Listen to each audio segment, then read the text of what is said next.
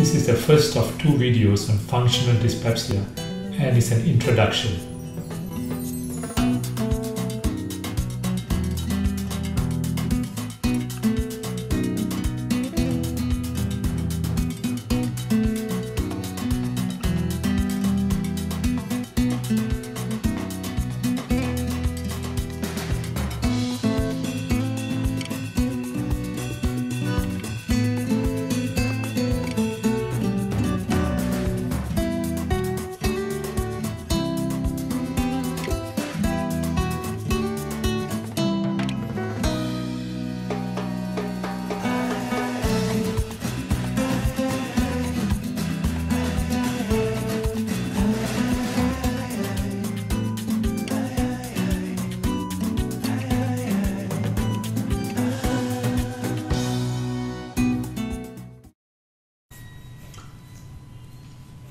This video is on functional dyspepsia, which is also called non-ulcer dyspepsia.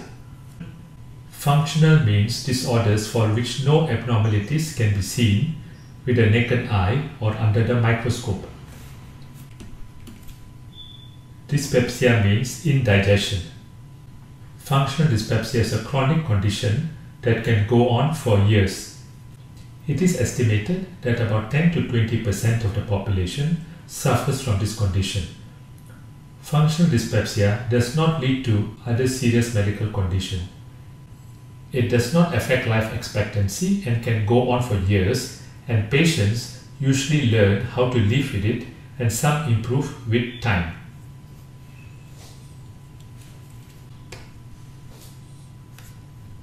There are three common symptoms that are seen in functional dyspepsia. One is called postprandial fullness. It is fullness of the stomach after eating a normal amount of food. It is also described as an unpleasant feeling like food is still in the stomach. The second symptom is called early satiety. This is the inability to finish a full meal or feeling full after eating even a small meal. The third symptom is pain over the stomach area. This pain could be a burning sensation or stomach cramps. Less common symptoms include nausea, vomiting, belching and bloating.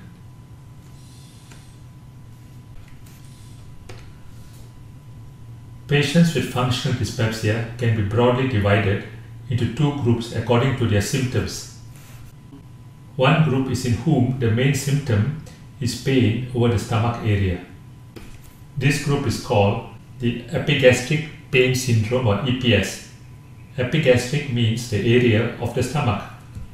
The main mechanism here seems to be hypersensitivity to pain.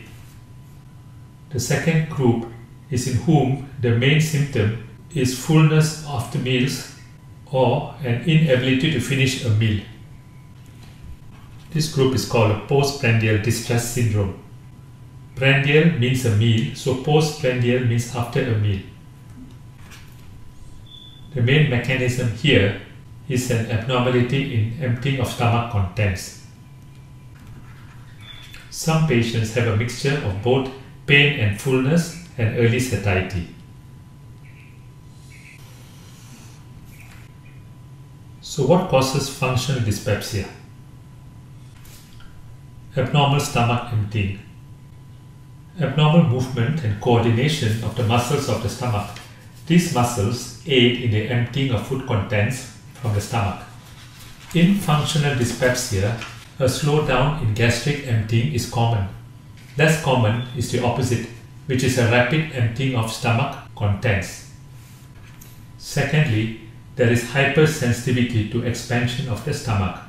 Patients with functional dyspepsia feel pain or discomfort when there is a normal quantity of food in the stomach, while a normal person does not feel anything. Thirdly is a stomach germ or bacteria called Helicobacter pylori. A stomach germ or bacteria called Helicobacter pylori may have a role to play in this condition. This is because clearing the bacteria the stomach results in a permanent cure in some patients. The bacteria can be cleared using antibiotics. In some patients, the condition happens after a bout of food poisoning. This is believed to be due to a change in the composition of the bacteria in the intestines, resulting in excessive gas production. Functional dyspepsia can last for up to one year after the food poisoning. Another factor could be abnormality in the gut brain axis. The gut brain axis is a bidirectional communication system between the gut, which includes the stomach and intestines, and the brain. This is through nerves blood circulation, and gut bacteria. So, some patients who suffer from stress, anxiety, and depression seem also to suffer from functional dyspepsia, and this is believed to be through the gut brain axis. So, what happens in the brain affects the stomach and intestines, and what happens in the stomach and intestines affects the brain. There are several medical conditions that can have similar symptoms to functional dyspepsia. This includes acid reflux or gastroesophageal reflux disease or GERD. In GERD, heartburn and regurgitation are the main symptoms. Often, acid reflux and functional dyspepsia can occur in the same patient. Ulcers in the stomach and first part of the small intestine. These are called peptic ulcers. Gallstones or stones in the gallbladder.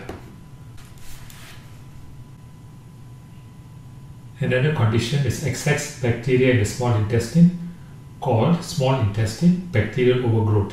This condition can follow the use of antibiotics or drugs that suppress stomach acid production like proton pump inhibitors, for example, omeprazole. Allergy to gluten called celiac disease. Gluten is found in wheat, barley and rye. This condition is rare in Asia except in those with Indo-Caucasian heritage. Slowdown in stomach emptying called gastroparesis. In this condition, vomiting is the main symptom. Then we have the irritable bowel syndrome.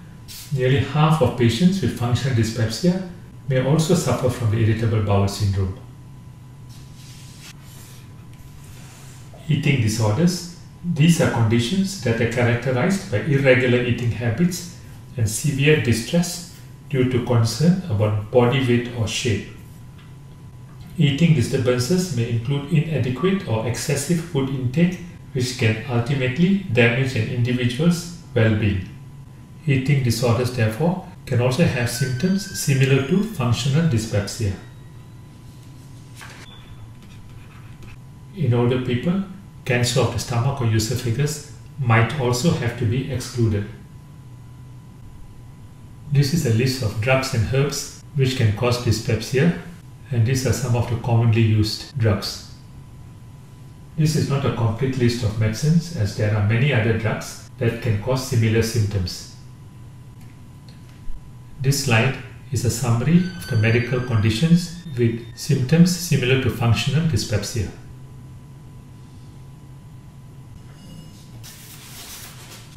Investigations done in functional dyspepsia might include blood tests like a full blood count, kidney and liver profiles, calcium, thyroid study, blood tests for gluten sensitivity or celiac disease if suspected, ultrasound of abdomen, urea breath test for Helicobacter pylori, and gastroscopy.